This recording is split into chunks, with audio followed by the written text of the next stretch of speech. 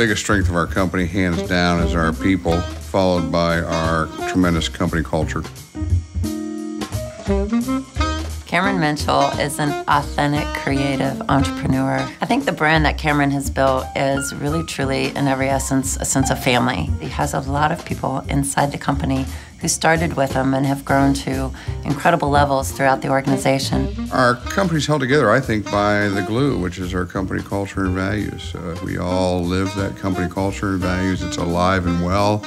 I tell people we don't just uh, uh, talk the talk and, and walk the walk. I actually say we run the walk. I think truly being able to embody and experience a place where you can bring your whole self to work, there's few places out there that really give you that ability. And when you find them, I think you should make sure that you embrace them. The community's been so good to us, so it's just a natural two-way street to want to give back and support our communities. We envisioned this building for a School of Hospitality Management and Culinary Arts. In Cameron's office one day, he pointed to a, a picture of that and said, how do we make that happen? Great leaders and great organizations know how important it is uh, to give back. Cameron and Cameron Mitchell Restaurants give their time, their money, their expertise to causes that they care about, and the communities that they serve are better for it we're really lucky to have them as a partner. All you need to do is look to your right or look to your left, and you'll see someone that's built their career with the company. There is a, a real uh, relationship uh, between what we do, what I do at Ohio State, and, and, exactly what Cameron does at CMR. It's all about people and making sure that the individual has what she or he needs in order to be successful, uh, personally and professionally. A person can see within an organization, you know what, I have a chance to be there for an employee to see that others have done that. That's testimony.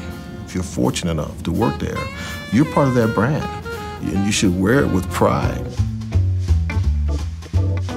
This is our beef tartare that we freshly ground our prime New York strip steak with truffle vinaigrette.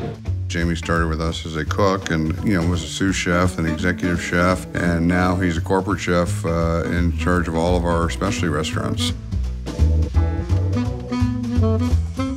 I started with Cameron Mitchell Restaurants my senior year in college. I initially wanted to get into the company into human resources, but knew that the company built on a foundation of promotion from within. So off to serving I went. Six months later, I interviewed for an HR internship. And 20 years later, I'm still growing my career as the Vice President of Human Resources. Cameron Mitchell Restaurants allowed me the balance to grow both professionally and personally. I started as a single college student and over the years became a wife and a mother to two beautiful children, all while climbing the ladder. It's allowed me to be who I want to be and to grow in a way that fit me personally. At CMR, your career is truly limitless as long as you have the passion to go and get it. I remember fondly starting at Columbus Brewing Company as a server, meeting my wife there, and really being inspired by Cameron. I'm here to tell you that it's gone very well since 21 years. Awesome mentors along the way, many openings, and a uh, lifetime of memories and friendships. When I think about Mark Weiss, uh, Mark was a server when we opened up the brew pub in 1996. Today, 22 years later, Mark is our director of operations for our Ocean Prime brand, which is our flagship brand, and he oversees restaurants all across the country. We just take such good care of our people, and our people are number one. We make chocolate milkshakes for everybody on their first day of orientation, and how we now today make thousands of chocolate milkshakes a year, and they've become the symbol of great people delivering genuine hospitality. And the answer is yes. What's the question? Story of a milkshake. So once upon a time, Cameron was at a restaurant dining with his family. And Cameron went to order a milkshake. Milkshake. A milkshake. A milkshake. Chocolate milkshake. He asked the server, can I please get a milkshake for my son? And the server at the time said, no, I'm sorry. The answer was no. That's not something we really do. They don't serve milkshakes at the restaurant? Are you sure? He asked to then speak to a manager. Manager came back and said, Um, it's not something on the menu. I don't know how much it would cost.